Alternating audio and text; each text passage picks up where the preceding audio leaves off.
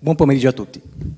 Sono da sempre una persona molto curiosa e questo perché sono stato cresciuto dai miei genitori con il costante bisogno di chiedermi il perché delle cose, proprio come la protagonista di questo libro per bambini. Questa favola racconta di questa bimba che chiede costantemente al padre il perché delle cose, chiede perché il cielo sia azzurro, perché il sole sia in alto e luminoso, perché l'aria sia fresca e pungente d'inverno e afosa d'estate. E tutte queste domande, che racchiudono quella semplicità che noi definiremmo infantile, di fatto nascondono tutta la bellezza della necessità di scoprire come funziona il mondo da parte dei bambini. Inoltre, seppur poste da una bambina, queste domande non trovano facilmente una risposta. Tant'è che il padre, esasperato dalle continue richieste della piccola, non sapendo più come risponderle, a un certo punto esclama perché sì. Ecco, questa frase, perché sì, io l'ho odiata fin da quando ero bambino, perché di fatto non mi soddisfava. La percepivo come un limite alla mia voglia di scoprire, alla mia voglia di capire come funzionasse il mondo. Poi, crescendo, ho imparato che cosa significasse veramente. Quel perché sì cercava di nascondere ciò che gli adulti non riuscivano a spiegare. Era una forma di difesa. Pensateci, pensate a qualcosa in cui vi ritenete esperti. Ebbene, se voi non sapete spiegare quella determinata cosa in modo semplice, lineare, come se lo doveste spiegare a un bambino, voi non conoscete veramente quell'argomento. E questa è una cosa che ho imparato col tempo quando a scuola e poi in università pensavo di aver capito qualcosa, ma poi quando dovevo spiegarlo in poche parole non ci riuscivo, facendo anche figuracce. E quindi ho capito che quel perché sì era un modo de, da parte dei miei genitori, ma da chiunque altro, per farmi smettere di essere curioso. Ma io non ci riuscivo, io volevo capire come funzionassero le cose. E quindi ho iniziato anch'io a utilizzare quella grandissima scatola virtuale, nota più comunemente come internet. E utilizzavo questa nuova tecnologia rendendomi conto non solo della grandezza del mondo, della quantità di informazioni che potevo trovare, ma anche della complessità nel recepirle. Poi internet e la tecnologia prendono il sopravvento, rivoluzionano la vita di tutti, lo fanno in tantissimi modi differenti. Ma ciò che quella che gli esperti chiamano la quarta rivoluzione industriale ha fatto veramente è stato stravolgere i sistemi comunicativi e informativi delle persone. Ad un tratto ci siamo ritrovati con una quantità abissale di informazioni che, così come in passato, oggi non riusciamo a gestire. Tant'è che nel mercato del lavoro di oggi si ricercano proprio professionisti che siano in grado di elaborare i dati, semplificarli, per poi utilizzarli a vantaggio dell'impresa. Si è capito l'importanza e le potenzialità del flusso informativo, ma allo stesso tempo sono aumentate le difficoltà, perché è molto più complesso capirci qualcosa. Un grande problema del nostro tempo, infatti, è proprio l'incapacità di comprendere se quelle informazioni siano utilizzabili o meno, utili o non utili, vere o false. Riceviamo ormai così tanti input che non sappiamo più come gestirli. Le informazioni ci travolgono come un fiume in piena e l'errore madornale da non commettere mai è proprio quello di lasciarsi trasportare da esse, smettere di sviluppare senso critico. Da qui nasce la cultura del dubbio, ossia discernere le informazioni, non fermarsi all'apparenza, prendere le cose e analizzarle nel complesso, capire tutto ciò che si cela dietro di esse.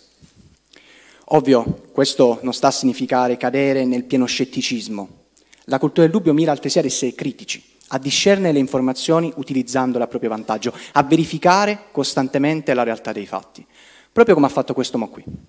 Per chi non lo conoscesse, lui è Michael Berry ed è famoso nel mondo economico anche perché è il protagonista del film La grande scommessa. Cosa ha fatto Berry? Ci troviamo negli Stati Uniti prima della crisi del 2008. È un mondo dove eh, le persone spendono, investono, c'è grande prospettiva per il futuro, le banche concedono mutui anche a coloro che non se lo possono permettere, un periodo florido. Curioso è il caso in quegli anni di una coppia di pensionati che viveva con poco più di 900 dollari al mese, a cui era stato concesso uno strano mutuo da 2000 dollari al mese. E in questo contesto nessuno si sarebbe mai immaginato quello che sarebbe successo da lì a poco.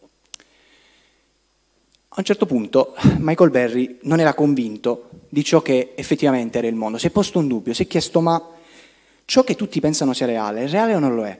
Siamo davvero in presenza di un mercato che cresce o in una bolla speculativa?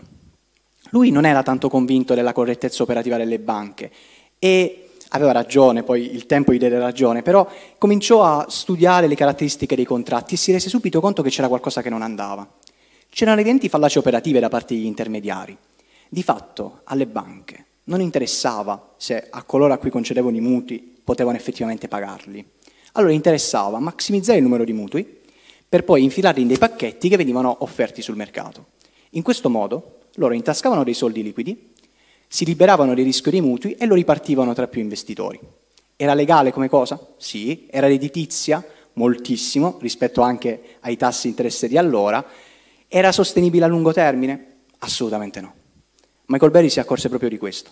Si rese conto che il castello di carte che tutti avevano contribuito a costruire era prossimo a crollare. Allora decise di fare una cosa un po' insolita, decise di investire contro il mercato, andò dagli stessi intermediari finanziari scommettendo sul crollo del mercato americano. Lì per lì i finanziatori erano increduli, dicevano questo è pazzo, ci sta regalando i suoi soldi. Erano come intrappolati, incatenati nella caverna di Platone, osservavano una realtà che pensavano fosse reale, ma che non lo era.